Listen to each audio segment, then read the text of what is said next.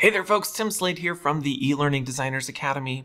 In today's video, I'm going to share with you how to pick the right website building tool to create your e-learning or instructional design portfolio. So let's get to it.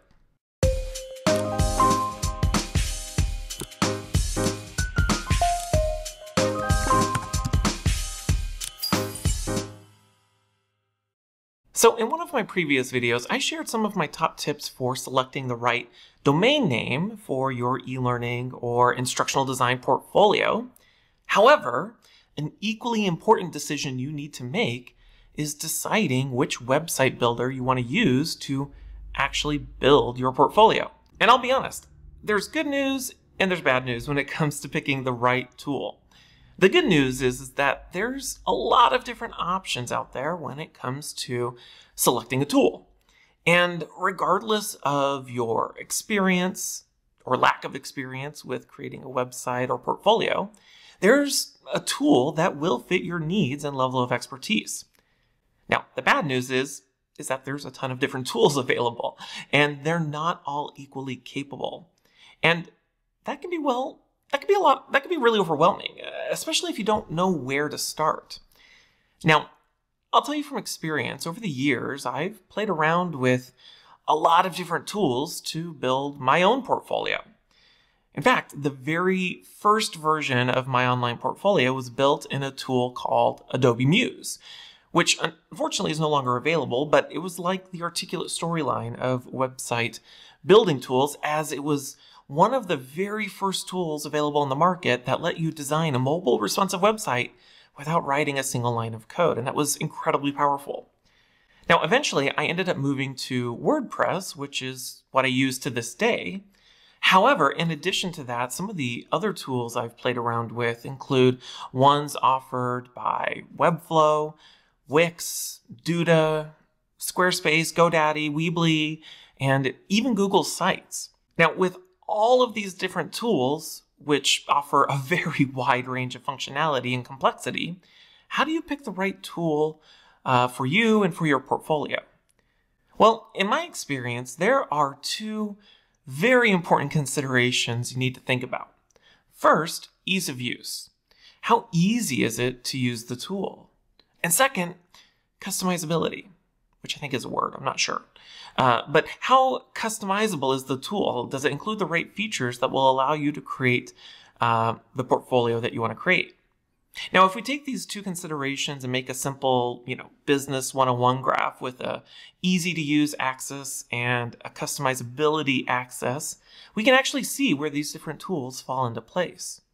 And as you can see, while some of the tools offered by GoDaddy, Weebly, Wix, Squarespace, and Google Sites, while they're easy to use, they don't offer a ton of customizability. These are tools that I like to call template-based tools, where you can pick from a predefined template that lets you customize the colors and fonts and some of the layout, but much of the overall look and feel is fixed according to that template.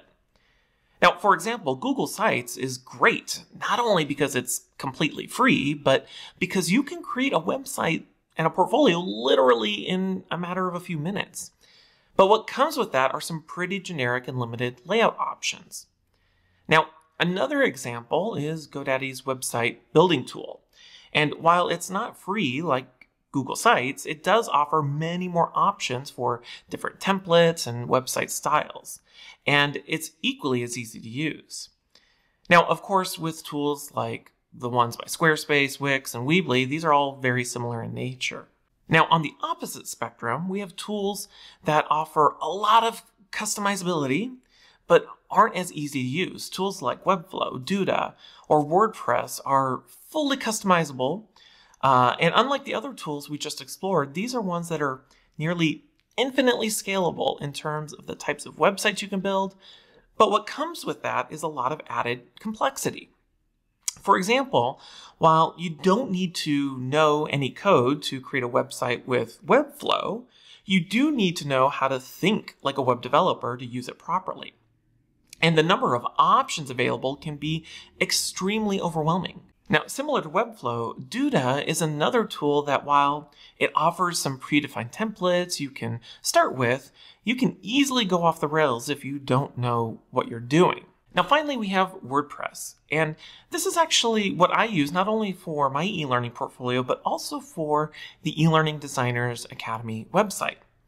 Now, before I share with you my thoughts about WordPress, I should mention that there are actually two different versions of WordPress, which most folks often confuse. First, there's WordPress.com, which offers both the WordPress website building tool, which is actually completely free, and the website hosting space where your website will actually live on the internet. And there's different pricing tiers for that depending on which options you choose.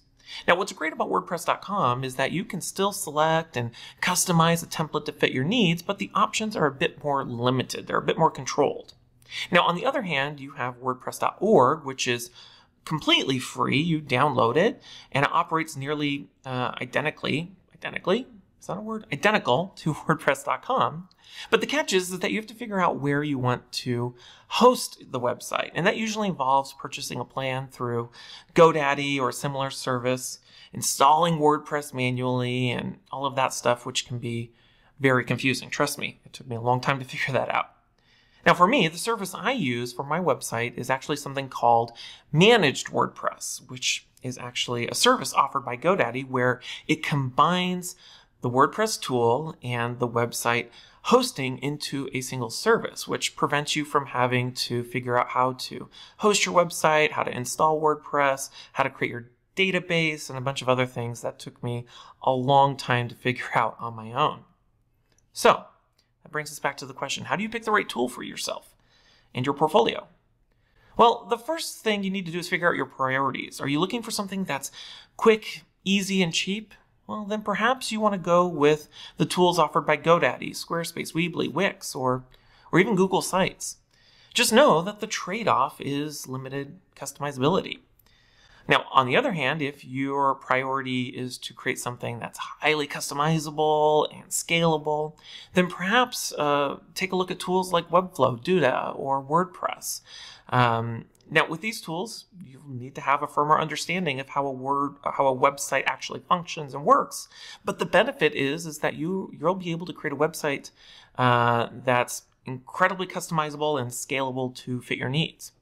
Now, in either case, with all of these different tools, if it's not already free like Google Sites, you can sign up for a free trial, which I'd encourage you to do to figure out which one works best for you. All right, so those are my tips for selecting the right website builder for your e-learning or instructional design portfolio, which of course leads me to my question of the day. What other tips can you share for picking the right website building tool? And what other tools have you seen that are good for building an e-learning or an instructional design portfolio? Share your tips by commenting below. All right, as always, I want to thank you for watching. Make sure to hit that subscribe button below. And of course, if you want to learn more about building your e-learning or instructional design portfolio or growing your e-learning or instructional design career, make sure to check out the e-learning designers academy at elearningacademy.io. My name is Tim Slade, and until next time, I'll see you around.